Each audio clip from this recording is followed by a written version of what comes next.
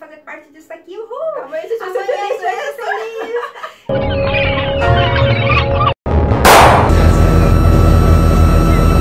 Bem-vindos ao Albergue! Eu sou a Lídia, Eu sou a Edilene. esse é o Albergue no Teatro. E hoje nós vamos falar sobre a peça Gaivota. Qual o gesto de um sonho?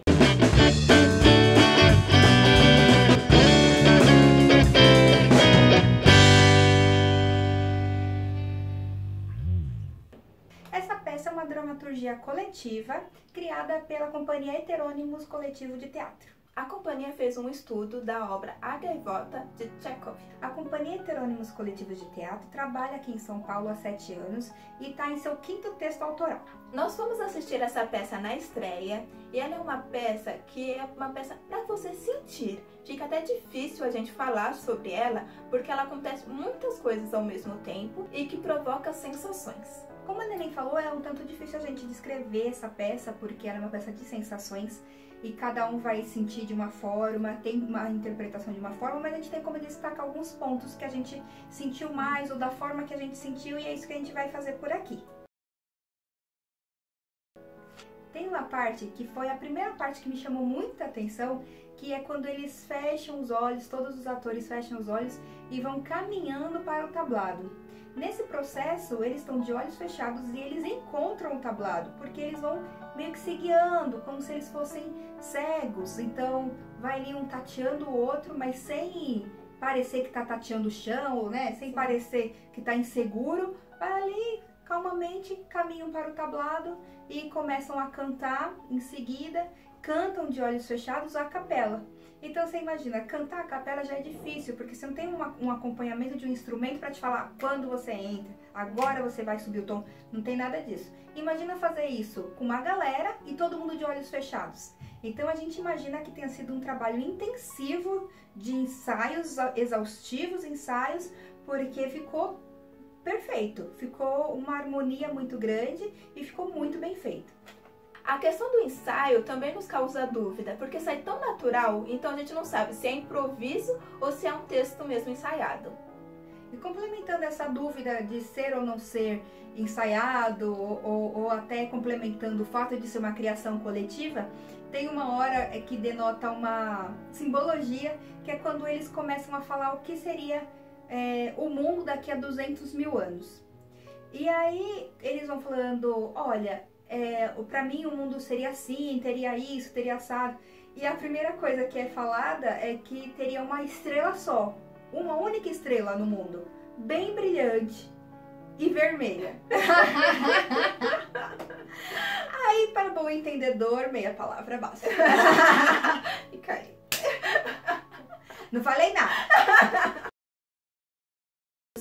Ponto a se destacar é o trabalho de corpo. É um trabalho muito bem desenhado, o corpo é muito bem desenhado, os gestos são bem precisos, então realmente fica impressionante. Num dado momento da peça, eles estão divagando, fazendo algumas questões mes- mesmo entre si, e aí você percebe a ligação, né? O fio que liga toda a peça. Um dos personagens fala que sentiu frio, e eles continuam divagando. Ela discutindo, discutindo, discutindo, discutindo. Aí, de repente, uma segunda personagem fala: Vocês ouviram barulho seco, isso e aquilo? O pessoal fala, não, não ouvi. E continua conversando, conversando, conversando, conversando. Um outro personagem fala, gente, vocês viram? Caiu algo, vocês viram? E o pessoal, tipo, não, não, não vi. E continua conversando, conversando, conversando. Uma quarta personagem fala que sentiu um cheiro, cheiro de enxofre. E aí fica, eu só senti um cheiro de enxofre. Aí o outro responde, é o inferno, não sei das quantas. Mas você vê que é uma proposta muito interessante. Porque se você não tiver ligado, se você não tiver prestado atenção, você não percebeu que cada um falou um sentido do corpo. Um falou da visão, o outro do, da audição, o outro falou do olfato e por aí vai. Então, se você não tiver prestar atenção ali, você deixa passar, tipo, nossa, que nada a ver. E no fim, ele só tava falando dos sentidos do corpo, do corpo humano. né? Uau! E nessa parte também mostra o nosso dia a dia, porque as pessoas falando do caos, do tipo, ó, senti um cheiro de enxofre, alguma coisa caiu, algum desastre aconteceu. E a gente fica, na maioria das vezes, tá, ah, tá bom, sabe? É só mais uma notícia, é só mais alguma coisa que aconteceu e a gente segue a vida como se fosse tudo normal. E esse símbolo também demonstra nessa parte. E logo em seguida é mencionada a morte da gaivota. E aí vem uma frase que eu achei muito poética e eu vou ler para vocês. Amanhã ouvi um tiro que matou um homem. Ontem ele caiu na minha frente.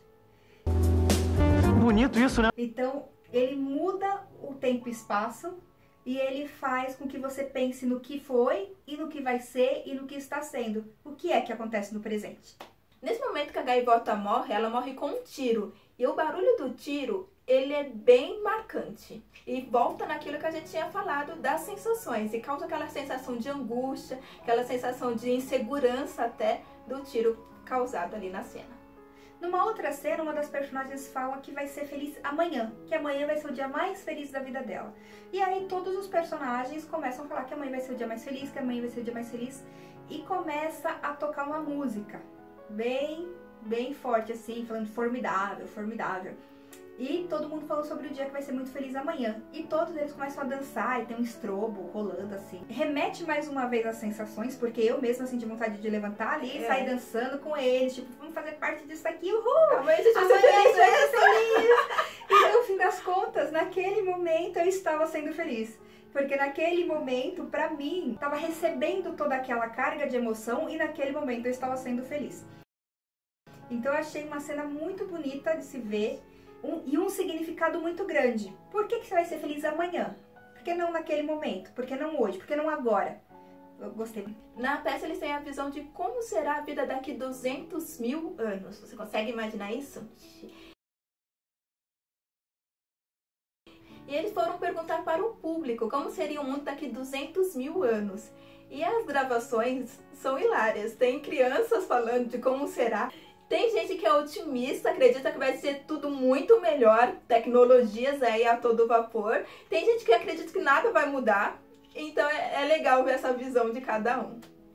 E ela é uma peça que é o teatro dentro do teatro, né? Eles têm, eles estão interpretando uma ação dentro do teatro. O porquê disso? Isso vem do texto original, que o original também tem essa questão de ter o teatro dentro do teatro.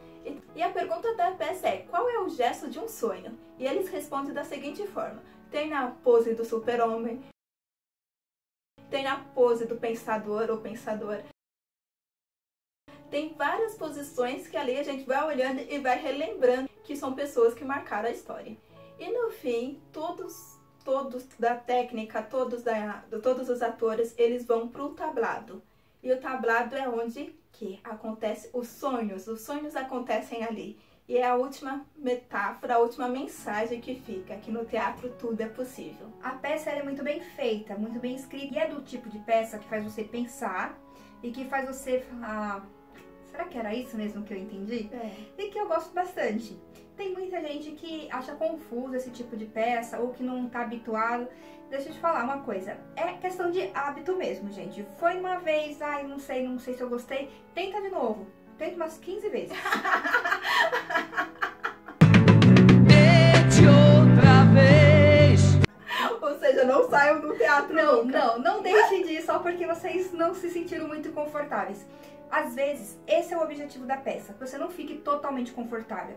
E às vezes a peça não vai ser simplesmente quadradinha, sabe? Um palco italiano, aquela coisa tudo certinha. Vai ser uma peça que vai te fazer causar sensações, emoções e vai fazer você pensar muito. Então, por isso que eu gostei bastante da peça. Ela foge do estereótipo, ela foge do padrão. Ela faz a gente pensar e ela causa emoções inúmeras. Tanto que eu chorei, eu acho que do começo ao fim. E tinha gente que ficava simplesmente assim ok, tá acontecendo. E eu, pá. Meu Deus, como pode ser tão linda? eu achei a peça uma obra de arte, por isso que eu gostei tanto. E é uma peça que é uma peça do minimalista. Eles têm nada de figurino, o, o cenário zero, não tem praticamente cenário, é um chão branco até, para chamar bem a atenção do, do, da neutralidade da peça. E causa todas essas sensações, tem muita metáfora, muita a gente falou algumas, mas eu tenho certeza que vocês, vocês vão ter outra visão. Vocês vão poder nos contar o que, que vocês viram, porque realmente é uma peça para cada um vai ver de uma forma diferente, cada um vai sentir de uma forma diferente. Tem gente que riu muito, se divertiu muito, tem gente que chora mais. Para cada uma é tocado de uma forma diferente. Eu amei a peça, acho realmente uma peça que vale a pena você ir assistir. Então é isso, pessoal. Muito obrigada por ter nos assistido até aqui. Não se esqueça de se inscrever no nosso canal, curte nosso vídeo e compartilha para todo mundo, que é muito importante pra gente. E também tem nossas redes sociais, Facebook, Twitter, Instagram, tudo arroba albergue72. E como a gente sempre fala por aqui, Vá ao teatro! Tchau!